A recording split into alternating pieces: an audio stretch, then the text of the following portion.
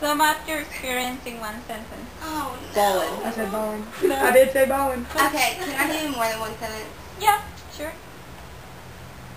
Um. That's a tough question. Okay, what I got out of this experience was a few things. Um, I realized that I really want to improve my Spanish. Even though Lindsey says I'm fluent, I don't think I am.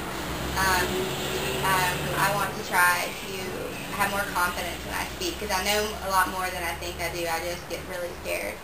And being here has taught me to just like not be scared because I teach, you know, the English to the adults and they're you know, just as scared as I am, but they're like willing to talk and make mistakes and realize that no one's gonna like make fun of you. Just try your best to speak because that's what matters. And if they see you're trying, then they're gonna help you out.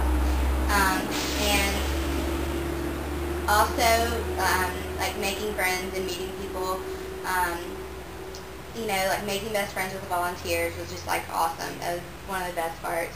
And like being able to like meet people and talk to people in our adult classes and like relate to them and you know finding out about their lives was an awesome experience. And I think being here, I've realized just like Lindsey said to um, you know humble myself and be not as materialistic as I was back home just to find like beauty and you know beauty and things like life and nature and things like that like they do here so That's a three-page essay. I know I couldn't do one sentence you can't describe it it's just Yeah. like you want to like I just like basically want to be and live my life more like a Tico Yeah, definitely. For sure. there's the sentence That's that's, what I got Live like I a want Tico. to be a Tico Live like a Tico Live like Be a. Tico.